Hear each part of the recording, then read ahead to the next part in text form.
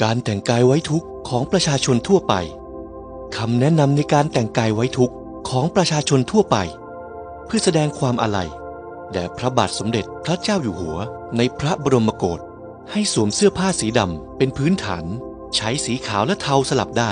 เสื้อผ้าควรออกแบบอย่างสุภาพ ไม่มีลวดลาย เสื้อ เนื้อผ้าไม่บางหรือรัดรูปจนเกินไป และควรเป็นเสื้อมีแขน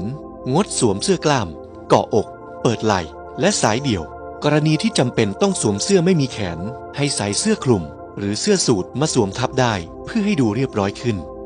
ชุดเดรส ควรมีแขน และไม่แหวกช่วงอกลึกหรือเปิดไหล่ กระโปรง ควรเป็นกระโปรงยาว ไม่เข้ารูปจนเกินไป หากเป็นกระโปรงทรงบานความยาวต้องคลุมเข่า